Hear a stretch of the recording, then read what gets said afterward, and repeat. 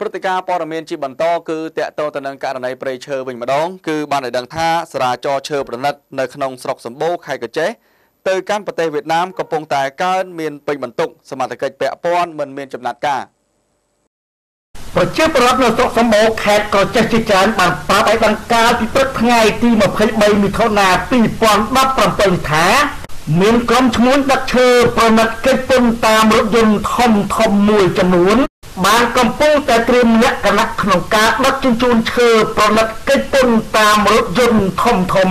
ចេញតាមច្រកផ្លូវរបស់ក្រុមហ៊ុនដីសម្បទានសេដ្ឋកិច្ចតុងមិនស្ថិតនៅក្នុងភូមិសាស្ត្រភូមិស្រែប្រែងឃុំក្បាលដំរីនឹងចេញពីតាមបណ្ដាផ្លូវនៅតាមក្រុមហ៊ុនដីសម្បទានសេដ្ឋកិច្ចផ្សេងផ្សេងទៀតស្ថិតនៅលើទឹកដីនៃស្រុកសម្បូរខេត្តក្រចេះឆ្ពោះទៅកាន់ស្រុកស្នួល យកទៅនៅលើទីផ្សារក្នុងប្រទេសវៀតណាមក្នុងពេលដ៏ឆាប់ឆាប់នេះបន្តទៅទៀតហើយប្រជាពលរដ្ឋទាំងនោះបានលើកឡើងឲ្យដឹងបន្តទៀតថា ធ្វើប្រណិតដែលមេឈ្មោះទាំងនោះបានកំពុងតែធ្វើការដឹកជញ្ជូនចេញពីតាមតំបន់នានាស្ថិតនៅក្នុងភូមិសាស្ត្រនៃទឹកដីស្រុកសម្បូរហើយពួកគេបានធ្វើចរាចរណ៍ដឹកជញ្ជូនឈើប្រណិតទាំងនោះជាបន្តតាមរថយន្តយន្តខ្នាតធំធំចេញពីក្នុងតំបន់នោះឆ្ពោះទៅកាន់ស្រុកស្នួល នឹងយកទៅលក់នៅលើទីផ្សារក្នុងប្រទេសវៀតណាមដោយជារៀងរាល់ដងនោះគឺពួកគេបានធ្វើការដឹកជញ្ជូនតាមរថយន្តបាកុងនិងគោជនកន្ត្រៃចេញពីក្នុងដែនព្រៃចម្រុះសត្វកែវសីមា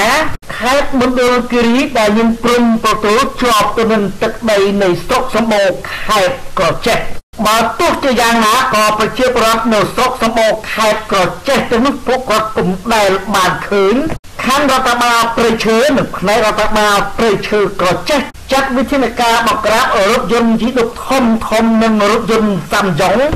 របស់មេឈ្មោះមួយក្តាប់តូចដែលពួកគេអាងលុយនិងអាងបពពួករបស់គេនៅលើទឹកដីនៃខេត្តក្រចេះដែលពួកគេបានកំពុងតែសម្រុកដឹកជញ្ជូនឈើប្រណិតកិច្ចពន្ធ ចេញពីក្នុងតំបន់នោះឆ្ពោះទៅកាន់ស្រុកស្នួលយកទៅលក់នៅលើទីផ្សារក្នុងប្រទេសវៀតណាមជារៀងរាល់ថ្ងៃនេះទៅតាមច្បាប់ស្តីអំពីព្រៃឈើនិងទៅតាមបទបញ្ជារបស់ប្រមុខរដ្ឋាភិបាលកម្ពុជា